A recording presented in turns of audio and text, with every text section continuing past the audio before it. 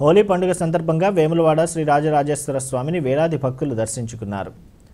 భక్తులు స్వామి అనుగ్రహ కృప ఎల్లవేళలా మాకు మా కుటుంబానికి ఇవ్వాలని రాజరాజేశ్వర స్వామిని అధిక సంఖ్యలో దర్శించుకుని మొక్కులు చెల్లించుకున్నారు.